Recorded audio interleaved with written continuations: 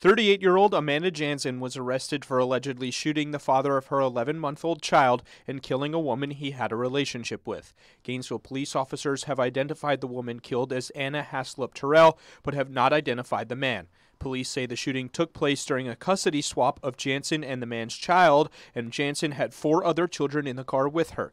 Police say during the swap, Janzen walked towards the driver's side and shot and killed Terrell. She then shot the man and drove away with the children in the car at more than 100 miles per hour. She led ASO deputies, GPD officers, and Alachua PD officers on a high speed chase into Alachua when she called police and confessed. Officials say during the chase, the children were pleading with her to slow down and she was arrested at a shopping plaza.